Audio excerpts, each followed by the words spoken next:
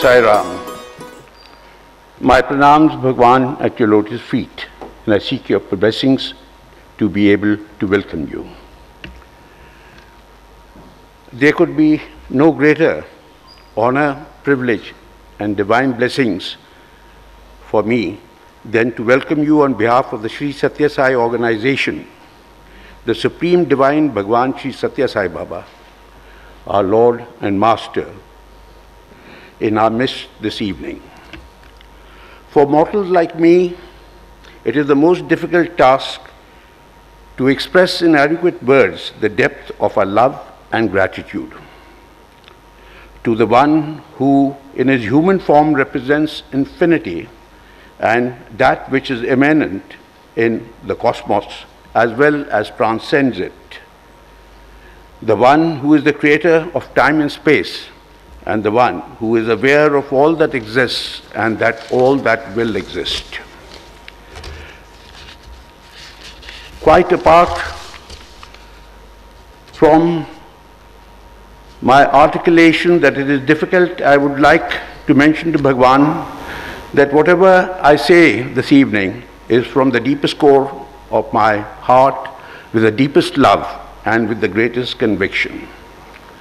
Swami, we devotees and all people of the Delhi NCR are indeed blessed with your divine presence.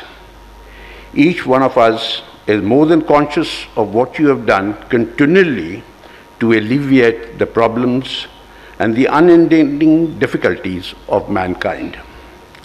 To mention only a few, the super specialization hospitals, the educational institution in terms of schools, the Sri Sathya Sai University of Higher Learning, your your benevolence, adopting villages, instituting water projects for drinking water to areas that were parched. And today, as we all know, that Andhra Pradesh is able to supply water to Chennai on a 24-7 basis because of Bhagwan's benevolence. Quite apart from this, Bhagwan has taken the illness of countless devotees of him, and this is over these extended periods of 85 years. It is also significant that all the facilities given to us by Bhagwan are free of cost to the individual and to the state. This is the magnitude of the divine love which has been given to us and that too in such great abundance. Without hesitation, I say that it is now incumbent on each one of us to make ourselves worthy of His divine benevolence. The educational system that has been instituted by Bhagwan is a balance between worldly knowledge and the knowledge that springs from within. The former, that is the worldly knowledge, is for survival in this materialistic world, whilst the latter attains is the attainment of bliss as against transitory happiness which you receive in the former. Bhagwan has stipulated that the end of education is character. This implies that learning punctuated with values is true education whilst learning without values is merely literacy. Swami's educational orientation has made a deep impact not only in India but also in many countries abroad. A number of institutions have started following the model of Bhagwan's teaching. Bhagwan, as we all know, has been love in action for these 85 years of his present incarnation. We believe that, among other things, He is with us to lift the veil that exists between man and God. He does this by teaching us that we too are divine. This He does by repeatedly reminding us that we are not human beings learning to be spiritual, but indeed spiritual beings learning to be human. Millions of His devotees the world over have started trying to rise to higher levels of consciousness and accept all of us as embodiments of love. Since love is God, we all are really embodiments of God. For instance, to all of you present here this evening, I say from the, the deepest sincerity that I love each one of you most dearly. I say this because in you I see Bhagwan Sri Sathya Sai Baba. Therefore, to the 600 odd people present here, when I say I love you with that sincerity, I'm actually saying to Bhagwan Sri Sathya Sai Baba 600 times in a few seconds that I love him very, very dearly. Despite Swami's teachings to us on the true values of love by demonstrating it at all times, sadly we mortals least understand, let alone practice love in a relationship either with a fellow human beings or God's creation. It is in this context, Bhagwan, if I may have your permission, to make two humble prayers to you. First is, Bhagwan, it's after 11 years that we have had the privilege of your divine presence amongst us. Our sincere prayer is, kindly come to us again and soon.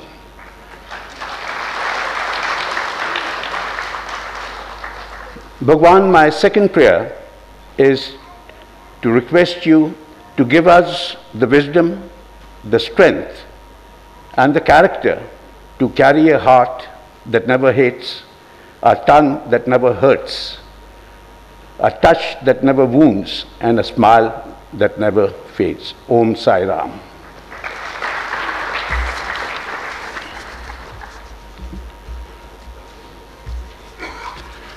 Bhagwan, now if I may have your blessings to introduce the speakers for this evening that you have kindly blessed.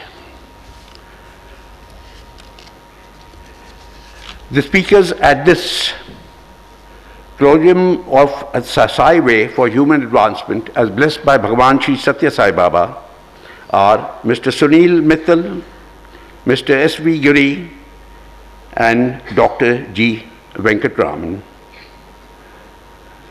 who will share their thoughts with us after my introduction of them. The order is Mr. Sunil Mittal, the first speaker, followed by Mr. S.V. Giri, followed by Dr. G. Venkatraman. I have been requested by all the members who are speakers, as a personal request from them, to keep their introductions short because in the presence of Bhagwan, they do not want elaborate articulation of their worldly achievements. To start with Mr. Sunil Mittal, the chairman and managing director of Bharti Group and also chairman of the Bharti Airtel.